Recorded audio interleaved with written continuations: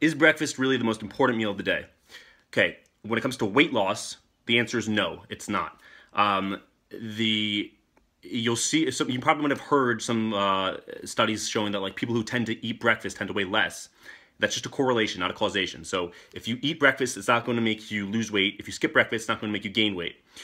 All you have to worry about this highlights a really fundamental concept. This thing is falling. All you have to worry about if you want to lose weight is total calories. So it doesn't matter if you're eating mcdonald's or really healthy food you'll see this a lot that people eat totally healthy food but their total calories are still too high so they're gaining weight jesus stay in place um, so that's all you have to worry about, total calories if you want to lose weight. It doesn't matter if you're eating it at breakfast, lunch, or dinner. You can eat it whenever you want. When it comes to weight loss, that's all you have to worry about.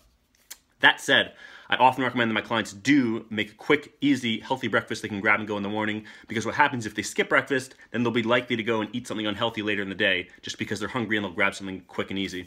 So what I recommend for a lot of clients is something like a yogurt and a piece of fruit. Really simple, specifically a Greek yogurt, by the way, higher protein, um, and it'll be more filling.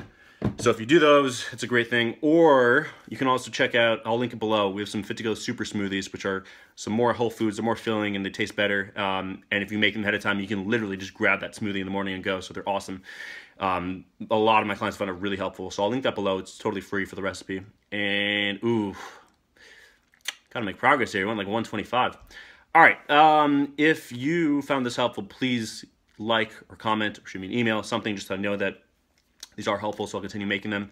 Um, if you have a question that you want me to answer about nutrition or exercise in 50 seconds or less, then shoot me an email at dsinger at fit2gopt.com or just comment it below. And I will see you next week. All right.